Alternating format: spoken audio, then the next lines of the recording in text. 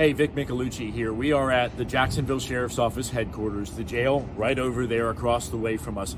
And we are looking at the numbers today. Obviously, we are following a high profile case where a former University Christian star and UCF standout has been killed another woman also shot. This appears to be a domestic incident, but we wanted to look at the numbers here in Duval County and we found some startling ones. So, as of today, 400 people have been shot.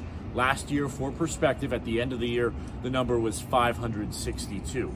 We're also looking at the number of murders. Well, as of today, we have surpassed the 100 mark. We are looking at, according to our records, 103 people who have been murdered in Jacksonville so far this year. So we're going to continue to crunch the numbers, look at the arrests, and look at the people that are still outstanding in these cases. That's coming up all new tonight at 5:30.